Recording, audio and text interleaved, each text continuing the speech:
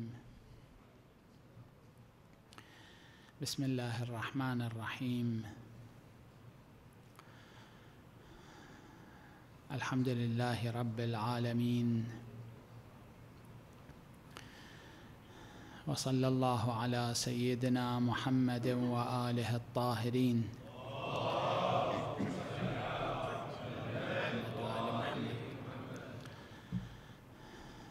ولعنة الله على أعدائهم أجمعين إلى يوم الدين.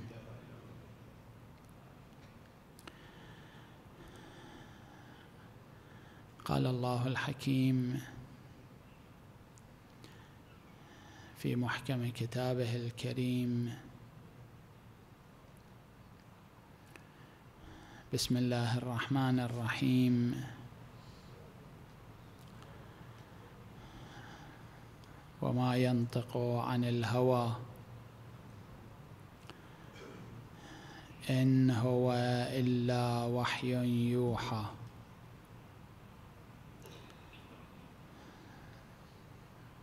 صدق الله العلي العظيم.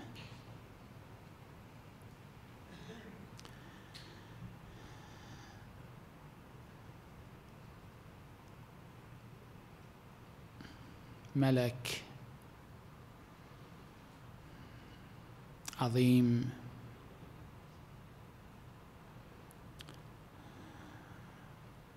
منذ أن خلق الله عز وجل الدنيا لم يكن قد نزل إلى الأرض.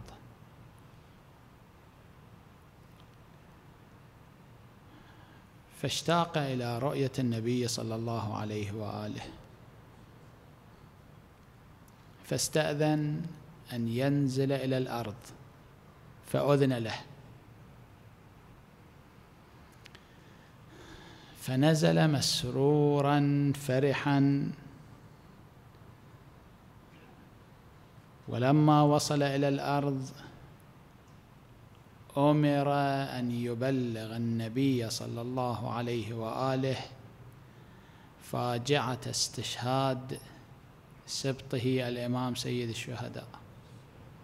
صلوات الله عليه. فحزن. وقال يا إلهي وسيدي نزلت مسرورا لنزولي على النبي صلى الله عليه وآله فكيف أخبره بهذا الخبر؟ ليتني لم أنزل. فأوحي إليه أن امض فيما أمرت. هذا أمر. فأتى النبي صلى الله عليه وآله وفتح جناحيه سلم على رسول الله قال السلام عليك يا حبيب الله. ثم ذكر له قصته وأخبره بالخبر.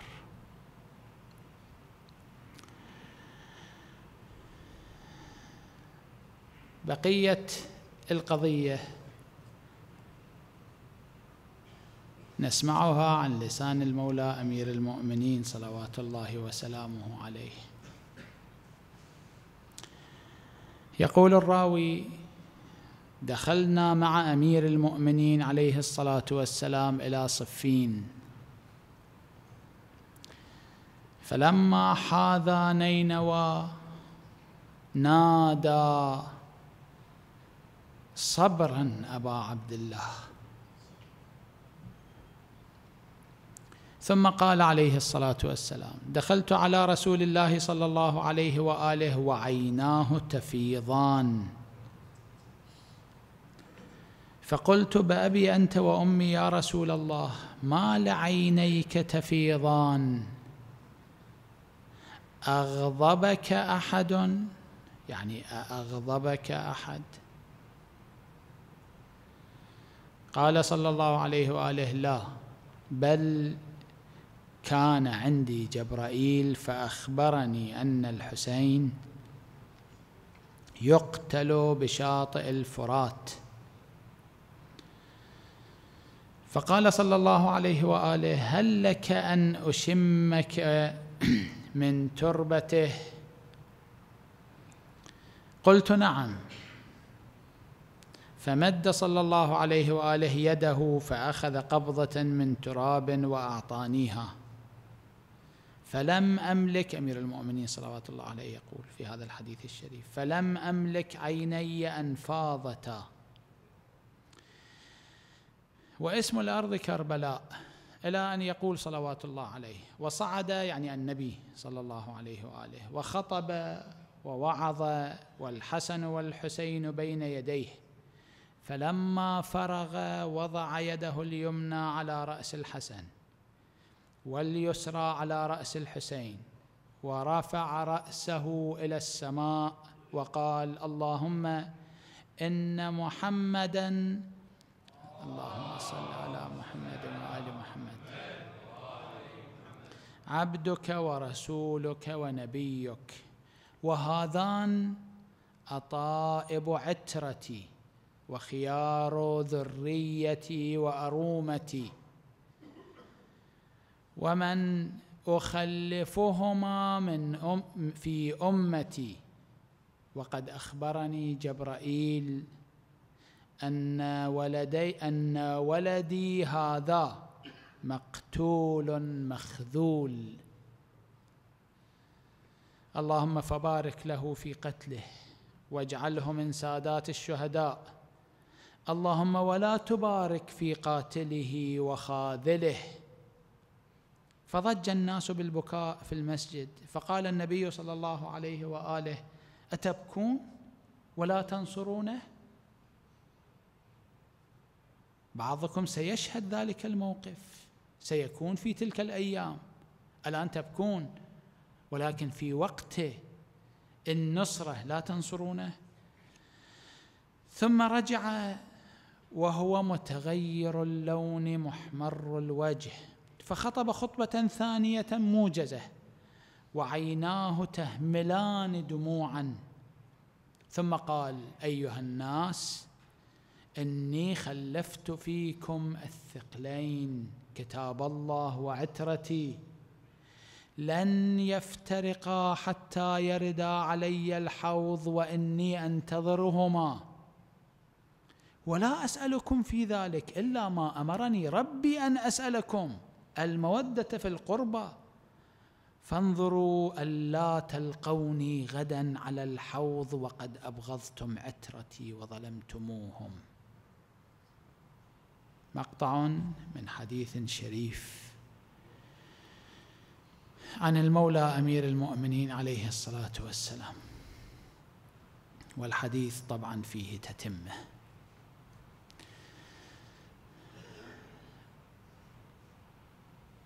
بصورة عامة لا أحب ولا أحبذ.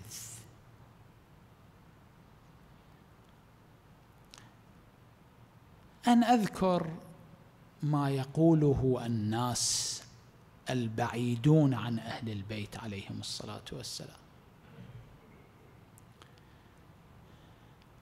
هم في عالم آخر.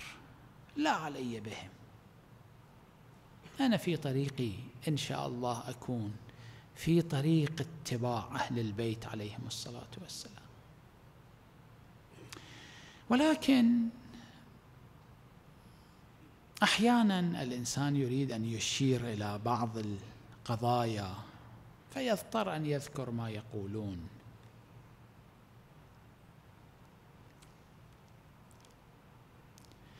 بعضهم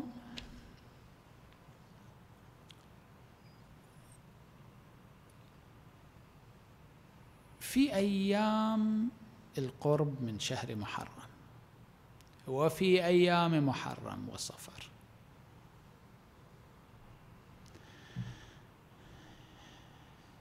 يقول وناقل الكفر ليس بكافر. يقول إن الحسين صلوات الله وسلامه عليه أخطأ حين خرج إلى كربلاء.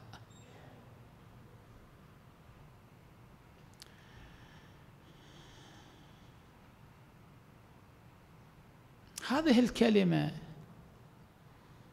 كلمة كفر صريح.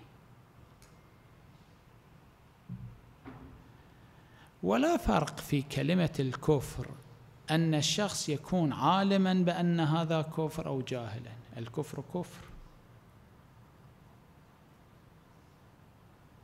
الذي يكذب الله سبحانه وتعالى وهو لا يعلم أن هذا كفر. هذا هذه الكلمة ليست كلمة كفر. تكذيب الله كفر. الذي يعتقد بعقيدة كفرية وهو لا يعلم أن هذه العقيدة كفرية هذا الشخص ليس كافرا؟ كافر. أكثر الكفار في العالم لا يعلمون ان أن العقيدة التي يحملونها عقيدة كفر. ولكن ليسوا كفارا؟ هذه الكلمة كلمة كفر. حتى لو كان الشخص لا يعلم أن هذه الكلمة كلمة كفر هي كفر.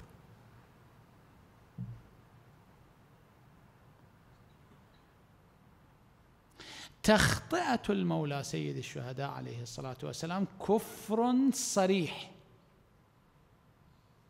ما الدليل على ذلك؟ عشرات الأدلة. أذكر لكم دليلا سهلا جدا. من ثلاث مقدمات. المقدمات القطعية. إذا رتبت ترتيبا صحيحا النتيجة تكون قطعية لا تكون ظنية. هذا من البديهيات أصلا. ثلاث مقدمات قطعية.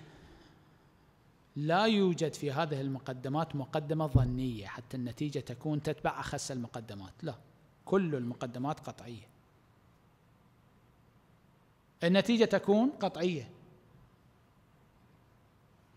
المقدمة الأولى. في عشرات المواقف. إحداها هذا الموقف الذي ذكرته لكم بسرعة. ورد متواترا في مصادر الفريقين. في مصادرنا متواتر في مصادر الآخرين أيضا متواتر. يعني قطعي. يعني لا ينكره مسلم. أن النبي صلى الله عليه وآله قال إني تارك في بعض الأحيان كان يقول مخلف خلفت. أمثال هذه الكلمة كلمات تركت. لأنه في عشرات المواقف قال هذا الكلام رسول الله صلى الله عليه وآله. إني تارك فيكم الثقلين. كتاب الله وعترتي أهل بيتي. إلى أن يقول وإنهما لن يفترقا حتى يرد علي الحوض. هذا قطعي؟ نعم قطعي. قطعا النبي صلى الله عليه وآله قال هذا الكلام. قطعا ويقينا. لا يشك في ذلك مسلم على وجه الكرة الأرضية.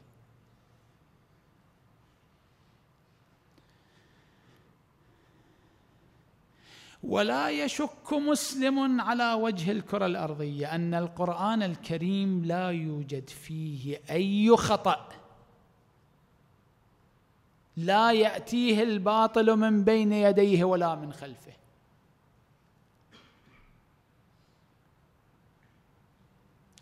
ولا يشك مسلم في أن العترة هذه الكلمة عترة رسول الله أهل بيت النبي صلى الله عليه وآله. تشمل هذه الكلمة أربعة أشخاص. تشمل عليا وفاطمة والحسن والحسين. اللهم صل على محمد وآل محمد. صلوات الله عليهم. بلا شك أن هؤلاء الأربعة من عترة النبي من أهل بيت النبي. غير هؤلاء الأربعة يوجد كلام ولكن في هذه الأربعة لا يوجد أي خلاف يعني قطعي. هذه المقدمة الأولى. المقدمة الثانية. الذي يقول إن أحد هؤلاء الأربعة أخطأ ولو يقول أنه أخطأ في موقف واحد في حياته.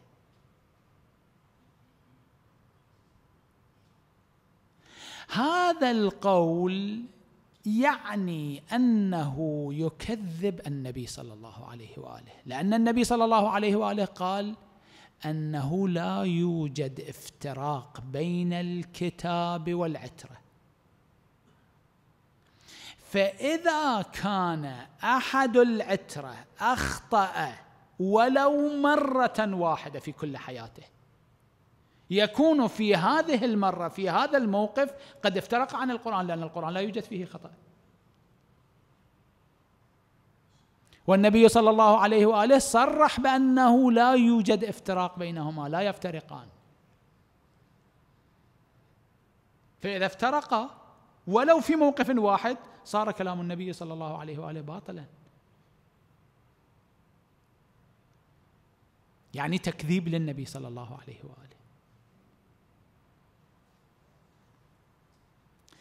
بل النبي صلى الله عليه وآله كما تعلمون أنتم الحمد لله أصحاب مجالس تحضرون مجالس تعرفون هذا الشيء بوضوح. النبي صلى الله عليه وآله ما قال لا يفترقان. لو كان يقول لا يفترقان كان كافيا.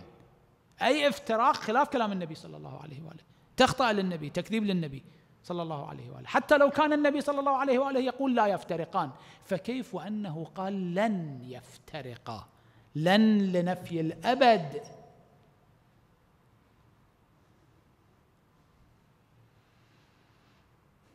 هذه هي المقدمة الثانية. المقدمة الثالثة. الذي ينسب الباطل إلى كلام النبي. الذي يكذب رسول الله صلى الله عليه وآله.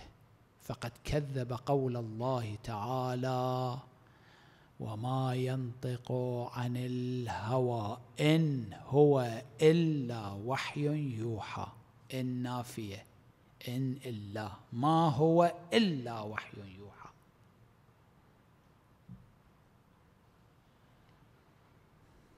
هذه المقدمة الثالثة ما هي النتيجة؟ النتيجة أن الذي يخطئ الإمام الحسين عليه الصلاة والسلام ولو في موقف واحد. فقد خطأ كلام النبي صلى الله عليه وآله حيث بين أنه لا يفترق الحسين عن القرآن لأن الحسين من العتر قطعا بلا خلاف بلا شك. النبي صلى الله عليه وآله قال لن يفترقا تخطئة الإمام الحسين عليه الصلاة والسلام تخطئة لكلام النبي صلى الله عليه وآله. وتخطئة كلام النبي صلى الله عليه وآله تكذيب لله عز وجل حيث قال وما ينطق عن الهوى إن هو إلا وحي يوحى النتيجة تخطئة الحسين تكذيب لله عز وجل. اسألوا أي مسلم تكذيب الله عز وجل كفر أم لا؟ كفر كفر صريح. بمقدمات قطعية. هذا الشخص يكذب الله عز وجل. هو يعلم معاند كافر. هو لا يعلم جاهل ويقول هذا الكلام. يقول كلمة الكفر. يعلم أو لا يعلم لا يغير الواقع. لا يدرك فليكن يقول كلمة الكفر. هو في الدنيا يعامل معاملة الكفار أو لا؟ اسألوا الفقهاء هذه مسألة فقهية. في الآخرة هذا الشخص إذا كان جاهلا قاصرا يدخل النار أو لا؟ لا أعلم. لا أريد أن أتصدى لهذه المعلومة. هذا موضوع ثاني. كيف يعامل في الآخرة؟ هذا موضوع آخر. كيف يعامل في الدنيا؟ هذا موضوع آخر لا يرتبط به. يسأل الفقهاء في ذلك. ولكن هذه الكلمة كلمة كفر أم لا؟ كلمة كفر.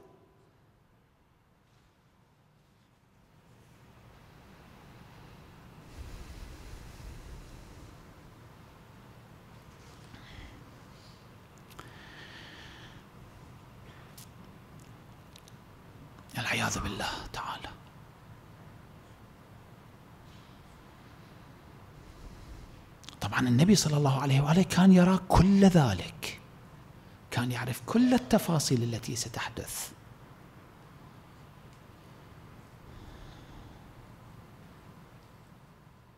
كان يعرف إقصاء أهل بيته صلوات الله عليهم. كم مرة قال النبي صلى الله عليه وآله عندما ذكر القرآن والعتره كم مرة قال ورد في مصادر العامة متواترا أيضا. ثلاث مرات يقول النبي صلى الله عليه وآله أذكركم الله في أهل بيتي. أذكركم الله في أهل بيتي. أذكركم الله في أهل بيتي. يا رسول الله لماذا التاكيد ذكر القرآن ذكر تعظيم القرآن وخلاص. يصل إلى أهل البيت عليهم الصلاة والسلام ثلاث مرات يقول أذكركم الله في أهل بيتي.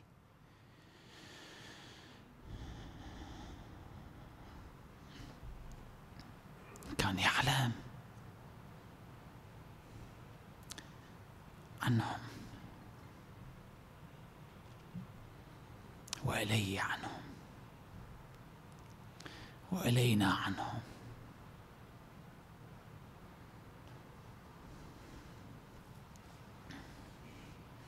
طريق العداء إلى رسول الله. طريق تكذيب القرآن الكريم.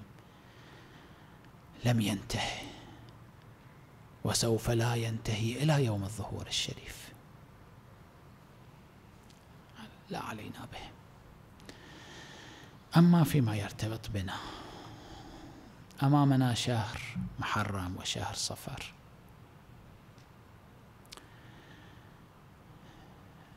شهر العزاء شهر مصائب رسول الله وأهل بيته صلوات الله عليهم لي كلمه مع إخواني خدام الإمام الحسين عليه الصلاة والسلام الذي يخدم في هذه القضية العظيمة. يخدم مؤسس مجلس مؤسس حسينية مؤسس موكب تطبير مؤسس موكب خدمي مؤسس موكب إطعام. يعمل في موكب في حسينية في مجلس. مؤلف كتاب حسيني خطيب منبر حسيني رادود حسيني. ايا كان. لي كلمة مع هؤلاء الخدام؟ إخواني أعزائي.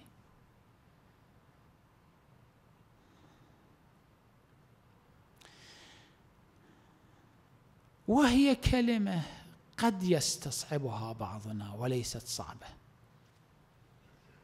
كلمة واحدة التميز.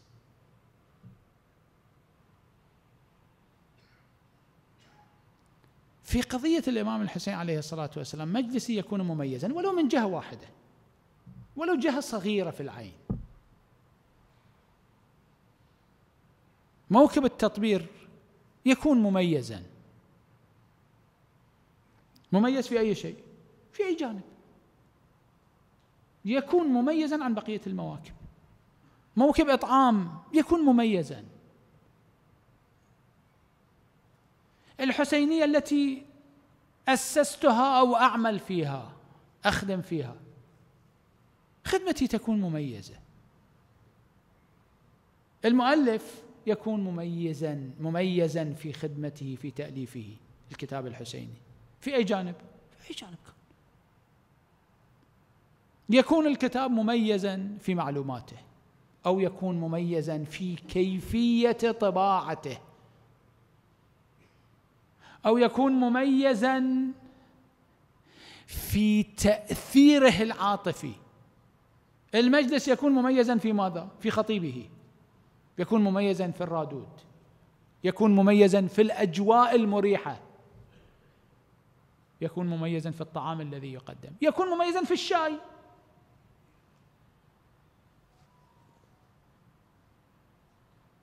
موكب التطبير يكون مميزا في الأجواء الروحانية أو في الأجواء العاطفية. أو في الخدمات التي تقدم أو في أي شيء. جانب تمييز. الخطيب الحسيني يكون مجلسه الحسيني أداؤه لخدمة سيد الشهداء يكون فيه تميز. بعض الخطباء وأنا حضرت مجالس بعضهم حفظهم الله جميعا. بعض الخطباء الحسينيين يكثر من قراءة الروايات الشريفة في المجلس. حقا تميز هذا. أنا سمعت هذه الرواية الأولى الثانية سمعتها الثالثة أعرفها الرابعة أعرفها الخامسة ما سمعتها. كلام المعصوم جدا مفيد. قطعا فائدة كبيرة. بعض الخطباء مميزون في النعي. تميز هذا. بعض الخطباء مميزون في الموضوع القرآني الذي يطرحه. بعض الخطباء مميزون في التحليل العلمي الذي يحلل الروايات الشريفة والآيات القرآنية أو تاريخ سيد الشهداء عليه الصلاة والسلام. تميز في أي جانب في أي جانب. المجلس هذا يكون مميزا. الرادود الحسيني وكم كلمة الحسيني كلمة جميلة. رادود حسيني خطيب حسيني مجلس حسيني. الله من هذه الكلمة الجميلة الوسام الرائع العظيم. الرادود يؤدي دوره بشكل مميز. ولو جانب قلت ولو جانب صغير. الشاعر الحسيني هذه الراية التي رفعها مجموعة ولله الحمد مجموعة كبيرة من المؤمنين الحسينيين. الشاعر الحسيني يكون في شعره مميزا في جانب. جوانب تميز الشعر كثيره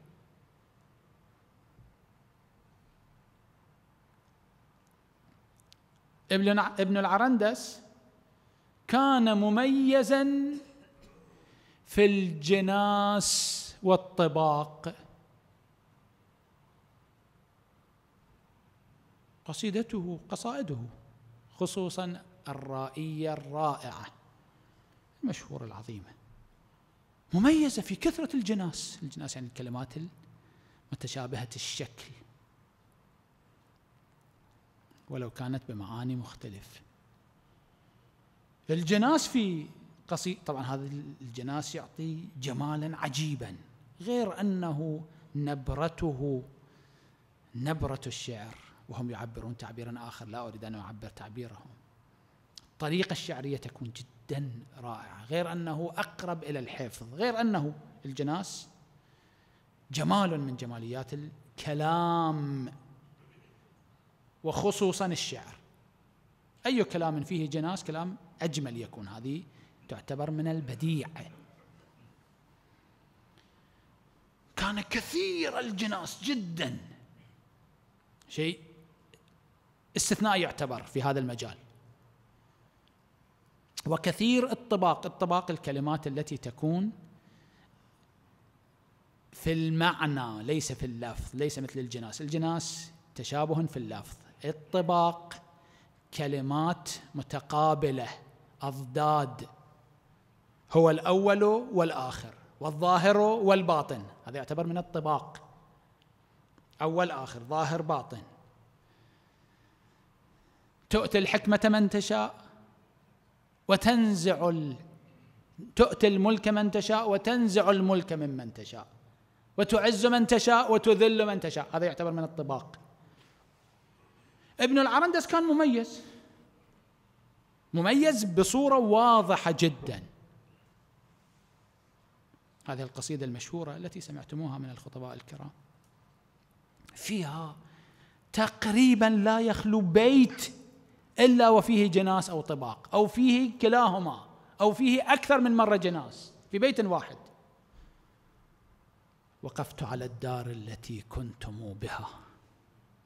فمغناكم من بعد معناكم قفر مغنى معنى. كلمات متشابهة متشابهة الشكل.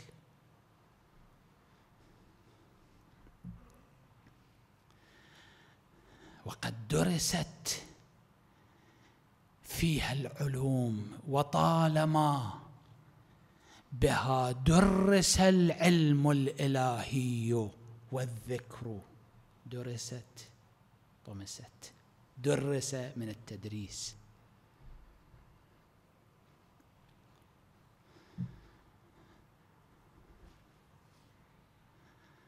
فراق فراق الروح.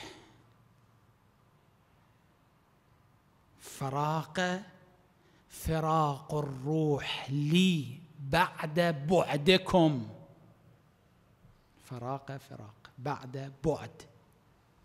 فراق فراق الروح لي بعد بعدكم.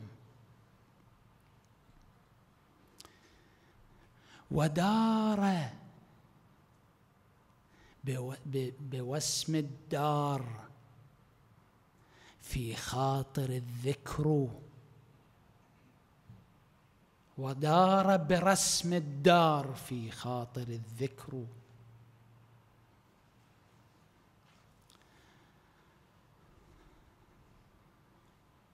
وقد أقلعت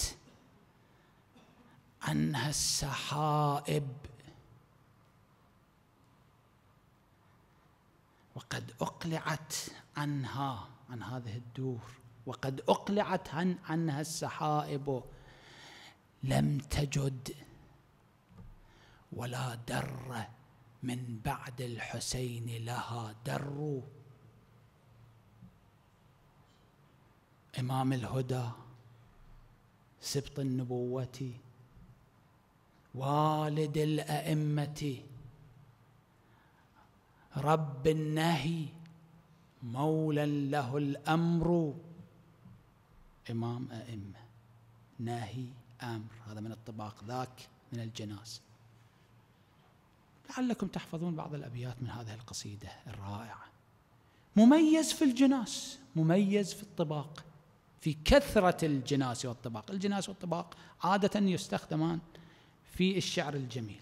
ولكن ابن العرندس مميز في هذا الجانب تميز في هذا الجانب. ترى شاعرا آخر يتميز في وصف البطولة. السيد جعفر الحلي.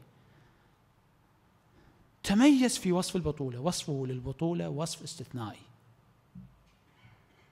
شخص آخر شاعر آخر يتميز في وصف المصيبة. شاعر كبير آخر يتميز في وصف كرامة أهل البيت عليهم الصلاة والسلام. مثل سيد حيدر الحلي. كل واحد منهم تميز. تقول صعب. هؤلاء قلة من الشعراء تمكنوا أن يتميزوا. نعم هؤلاء تميزوا تميزا كبيرا. أنا لا أتحدث عن التميز الكبير أتحدث عن أصل التميز. وأقول ذلك بملء فمي. التميز ليس شيئا صعبا. أصل التميز ليس شيئا صعبا. طبعا التميز الحسن عندنا تميز سيء. قتلة الإمام الحسين عليه الصلاة والسلام ولعنه الله على قاتله. تميزوا في الشر. ليس كلامي عن الشر. التميز في الشيء الحسن ليس صعبا. أصل التميز ممكن في متناول الأيدي يحتاج إلى تركيز وتفكير. كيف أميز مجلسي هذا هذه السنة في شهر محرم وصفر بميزه. طبعا سيتعلم الآخرون منك هذه الجهة. في السنة القادمة ميز مجلسك بتمييز آخر. فكر كيف تميز؟ كيف يكون مجلسك مميزا في جهة حسنة ولو جهة صغيرة؟ قلت لكم حتى لو في الشاي. شايك يكون مميزا. ميز. تميزا حسنا طبعا. وفي ذلك فليتنافس المتنافسون. فرصة عظيمة جدا جدا أمامنا. عيد الغدير فرصة عظيمة في العقيدة. بحبوحة العقيدة في الغدير. عاشوراء فرصة عظيمة في الشعائر في العمل. في عاشوراء أيضا توجد عقيدة في عاشوراء أيضا توجد أخلاقيات في عاشوراء أيضا تبث أحكام الدين. كل شيء في عاشوراء عظيم ولكن تركيز عاشوراء على العمل فرصة لا نظير لها في السنة في العمل في الشعائر. شيء عملي. هذه الفرصة العملية يكون لي تميز ولو في جانب واحد. أخدم المولى صلوات الله عليه في هذه السنة. بجانب حسن مختلف عن بقية الخدمات المشابهة. كل الإبداعات التي تحدث في العالم تبدأ بتفكير وأحيانا تفكير بسيط ثم تنمى تصبح تميزا كبيرا. نسأل الله سبحانه وتعالى أن يجعلنا من ناصري الحسين عليه الصلاة والسلام. وأن لا يجعلنا ولا في لحظة من حياتنا من خاذلي الحسين. نسأل الله سبحانه وتعالى أن يوفقنا في هذه السنة لخدمة أفضل من كل السنوات الماضية. اللهم لا تفرق بيننا وبين الحسين. طرفة عين أبدا. اللهم اجعل في جباهنا نور خدمة الحسين. اللهم اجعل وسام الحسين على صدورنا في الدنيا والآخرة. اللهم ارزقنا زيارة الحسين في الدنيا خدمته في الدنيا شفاعته في الدنيا والآخرة. اللهم بحق الحسين عجل فرج المنتقم للحسين من أعدائه مهدي آل محمد. الله